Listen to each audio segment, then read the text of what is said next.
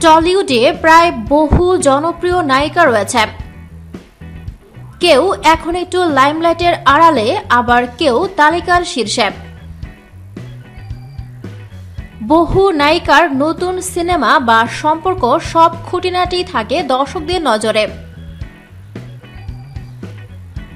তবে জানেন কোন কোন নায়িকা ভালোবেসে তাদের বয়ফ্রেন্ডের নামে ট্যাটু করিয়েছেন হাতে? শ্রাবন্তী চট্টোপাধ্যায়। পরিচালক রাজীবের সঙ্গে বিয়ে করার কিছু বছর পর ইতি ঘটে সেই সম্পর্কে।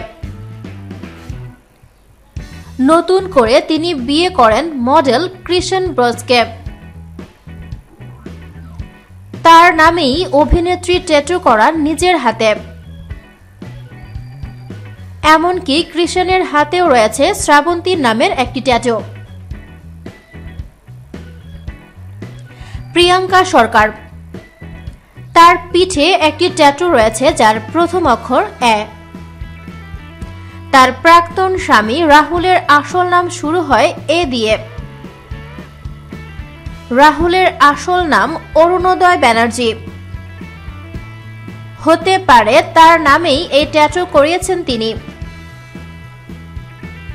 রুক্সিনী মৈত্র। নবাগতা হিরোইন রুক্সিনী ইতিমধ্যেই সকলের মন জয় করেছেন।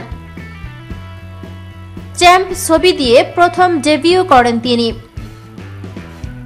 বয়ফ্রেন্ড দেব যেইভাবে সই করেন, ঠিক তেমনই একটি ট্যাটু করান রুক্সিনী তার হাতে।